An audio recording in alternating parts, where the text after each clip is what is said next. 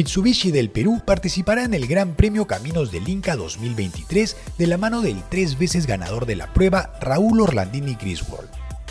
La marca de los tres rombos es la que tiene más victorias en la competencia principal del Perú y con esta renovada alianza va por más. En la presentación conversamos con Raúl sobre la participación de la marca y sobre su preferencia por Mitsubishi.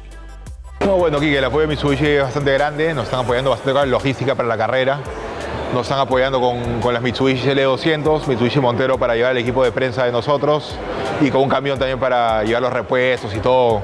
Porque mover las llantas, gasolina, todos los repuestos de la carrera, que es bastante fuerte. Mira, yo soy hincha de la marca, me gusta Mitsubishi bastante, he tenido ya más de 20 Evos en los últimos 20 años y la verdad que es un carro que me gusta muchísimo, muy confiable y creo que va muy bien para caminos del Inca. Es para mí, o sea, con todas las opciones de auto que hay hoy día, sigo eligiendo el Evo.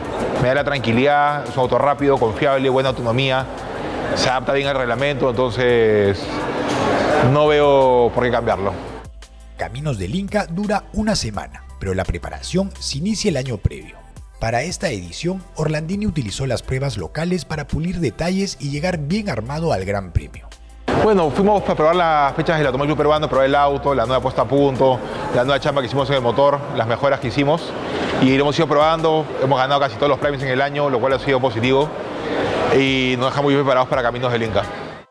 La edición 2023 de Caminos del Inca promete ser una de las más reñidas que se recuerde. Hay al menos nueve candidatos directos para disputar por la victoria, más otros tantos que podrían dar la sorpresa. Bueno, los rivales de siempre. Está Nico, están los Palominos, eh, creo que son los que van a estar más cerca. De ahí a los Castro, Luchito Alaiza, eh, Martínez, bueno, y el Gordo, que nos estamos saliendo de mencionar el Gordodazo, que siempre está ahí. Me ha comentado que ha mejorado su auto, va a ser también un rival peligroso, con mucha experiencia, que sabe caminar en caminos. Las tres victorias del Gran Premio Nacional le dan a Raúl un nivel de experiencia importante para afrontarlo. Por ello, sabe que la estrategia es clave la estrategia de siempre, vamos a sobrevivir a Sandahuaylas, hay que llegar a Nahuaylas bien colocados, no estar a más de 3 minutos de la punta o 4. Si te caes esos 4 o 5 minutos va a ser complicado regresar. Y hacer un camino Inca sin errores, es lo más importante. En Camino del Inca no gana el más rápido, gana el camino se equivoca. El Gran Premio Caminos del Inca 2023 será del 18 al 29 de octubre. Quédate con Auto TV para más novedades de la carrera principal del Perú y para seguir a tus pilotos favoritos.